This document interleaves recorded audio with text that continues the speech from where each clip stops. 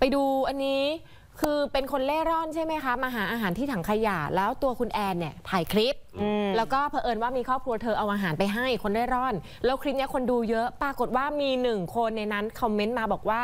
ช่วยถ่ายใกล้ๆให้ได้ไหมเหมือนลูกชายที่หายไป 6 ปีหูลองไปดูคลิปนี้กันค่ะ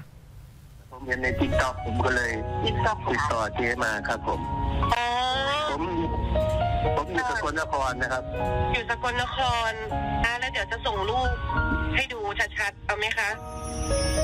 เอาค่ะครับเอาครับผมลองพี่ลองถามเขาเขาพอรู้เรื่องไหมครับผมเขาพูดไม่ค่อยเขาไม่เคยพูดเลยอะ แล้วแบบเขาเขาเหมือนสติเขาไม่เต็มร้อยเปอร์เซ็นต์นะคะ ครับผมเขาเขาหายไปตอนเขาไปทำงานอยู่กำแพงแสนนะครับ เก้าครับผม ผมตามหาเขาอยู่ครับผมเอานะผมเสียงคุณพ่อค่ะตามหาลูกที่หายไป 6 ปี แล้วรูปร่างชายคนนี้เหมือนใช่ โอ้ เขาก็เลยให้ขอดูนิ้วหน่อยเพราะว่านิ้วอะลักษณะมีรอยสักอ๋อพ่อและจำได้ แล้วคุณแอนก็เลยถ่ายนิ้วให้ดูไปดูบรรยากาศช่วงนี้กันค่ะ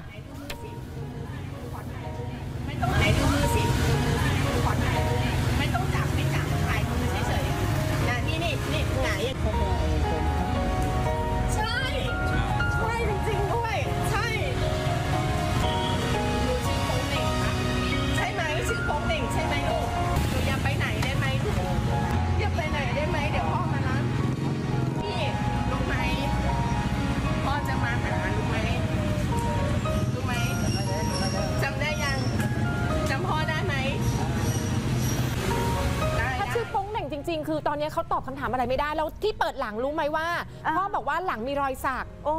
แต่นี่มันไม่ใช่รูปโดเรมอนไงคะ อ๋ออนุมานเหรอ ใช่คุณพ่อบอกว่าเป็นรูปโดเรมอนไง อ่า อันนี้ต้องพิสูจน์กันแล้วเนาะนั่นน่ะสิ เออ ตรงนี้ไม่แน่ใจว่าเกิดอะไรขึ้นนะคะ แต่ว่าสุดท้ายคุณแอนไม่กล้าล้างชายเล่ร่อนคนนี้ไว้นะคะ อ๋อ เพราะรูปพันสันฐานอื่น ๆ อย่างเช่นรอยสักกลางหลังไม่ตรง อืม พอไม่ตรงก็เธอไปล้างเขาไว้ไม่ได้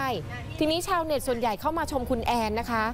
โอ้แต่ว่าสุดท้ายเรายังไม่มีตอนจบนะ ไม่รู้ว่าใช่คุณโป้งเหน่งหรือเปล่าโอ้ยอยากให้มีภาคสองอะเอ